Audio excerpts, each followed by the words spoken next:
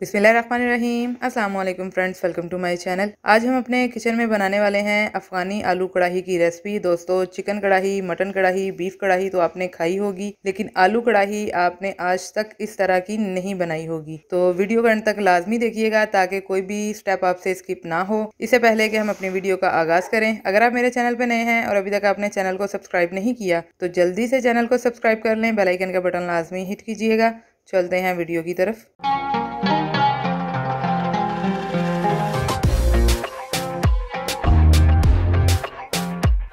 बिसमीम अफ़गानी आलू कढ़ाई बनाने के लिए सबसे पहले हम अपनी कढ़ाई में एक कप ऑयल शामिल करेंगे।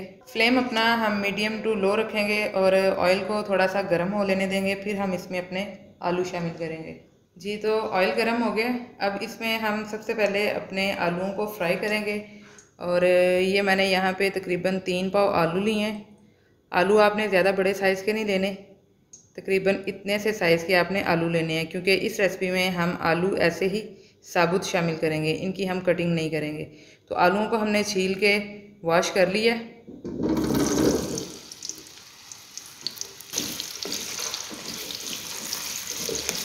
फ्लेम अपना मीडियम टू हाई कर लेंगे हम, और तकरीबन पाँच से सात मिनट तक इसी तरह हाई फ्लेम पर हम आलूओं को अच्छी तरह फ्राई कर लेंगे, जब तक ये थोड़े से गोल्डन नहीं हो जाते।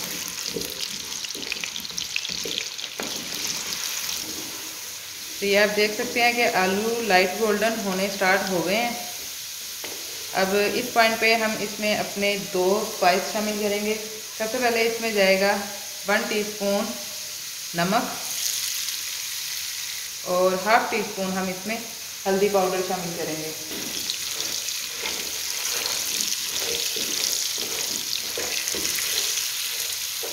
नमक और हल्दी शामिल करने का ये फ़ायदा है कि नमक अगर आप आलूओं के साथ ही शामिल कर लेते हैं तो ये आलूओं में अच्छी तरह से रच जाता है और हल्दी जो है वो आलूओं को एक बड़ा ही प्यारा येलो सा कलर दे देती है।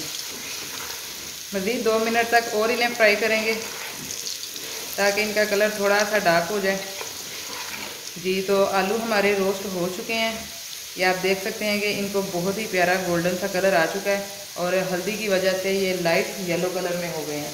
अब हम इसमें सबसे पहले शामिल करेंगे ये चार अदद हमने टमाटर लिए हैं मीडियम साइज़ के।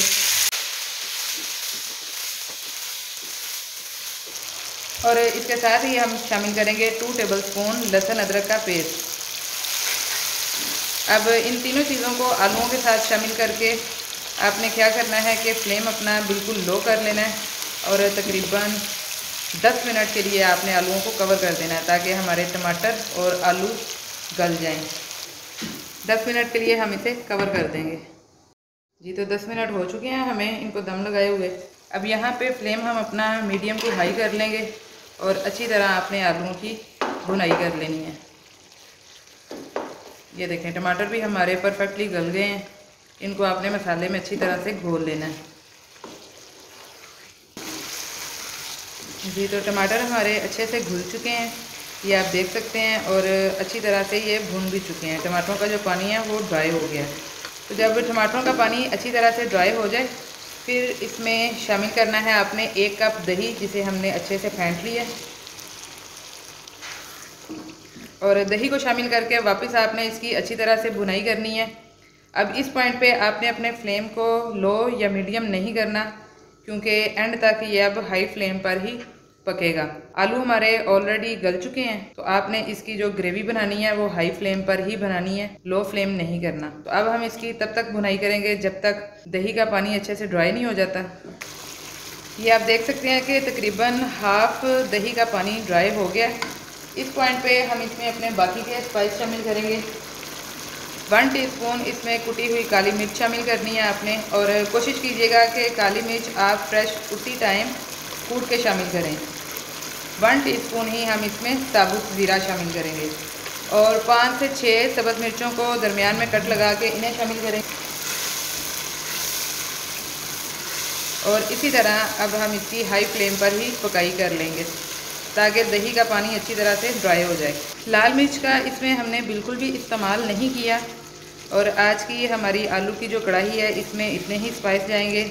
वैसे भी आप जानते हैं कि अफ़गानी जितने भी पकवान हैं, उनमें स्पाइस बहुत ही कम इस्तेमाल किए जाते हैं। और सबसे ज़्यादा खानों में जो इस्तेमाल की जाती है, वो काली मिर्च और सब्ज़ मिर्च इस्तेमाल होती है। तो इन्हीं दो स्पाइस के साथ ही हम अपनी रेसिपी को रेडी करेंगे। आप भी इस रेसिपी को अपने घर में लाजमी ट्राई कीजिएगा। इन आपको ये रेसिपी बहुत पसंद आएगी। और आलू आपको एक नए तरीके से खाने को मिलेंगे। दही का पानी काफ़ी हद तक खुश्क हो चुका है। मज़ीद हम इसकी पाँच मिनट तक भुनाई करेंगे जब तक ऑयल सतह पे नहीं आ जाता। जी तो आलू हमारे मुकम्मल तौर पे भुन चुके हैं और ये आप देख सकते हैं कि दही का पानी जो है वो भी ड्राई हो गया है, क्योंकि ऑयल हमारा सतह पे आ गया अब यहाँ पे आपने क्या करना है कि फ्लेम अपना बिल्कुल लो कर लेना है और हाफ़ कप इसमें क्रीम शामिल कर देनी है। क्रीम आप कोई भी इस्तेमाल कर सकते हैं। अगर आपके पास घर में मौजूद फ्रेश क्रीम घर की बनी हुई है तो वो आप शामिल कर सकते हैं। वरना आप कोई भी पैक इस्तेमाल कर सकते हैं। और बस का पैक वो इस्तेमाल कर लें। फ्लेम आपने अपना लो ही रहने देना है। बस एक बार आपने क्रीम को अच्छी तरह से आलूओं के साथ मिक्स कर लेना है। तो ये देखें जी, माशाल्लाह से बहुत ही प्यारी हमारी आज की रेसिपी ऑलमोस्ट डन हो चुकी है। अब बिल्कुल लास्ट पे हम इसमें शामिल करेंगे थोड़ी सी बारीक कटी हुई सब्ज़ मिर्चें और थोड़ा सा हम इसमें सब्ज़ धनिया शामिल कर देंगे। दो अदद मैंने यहाँ पे लेमन लिए लेमन का जूस आप शामिल कर दें।